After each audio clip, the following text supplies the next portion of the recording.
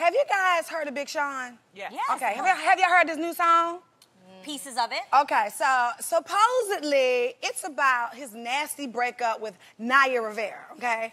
And if this is true, because allegedly, we don't know, all right?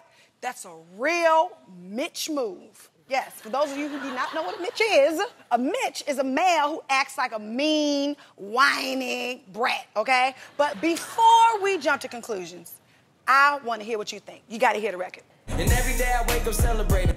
Why? Cause I just dodged a bullet from a crazy I stuck to my guns, that's what made me rich, that's what put me on, that's what got me here, that's what made me this.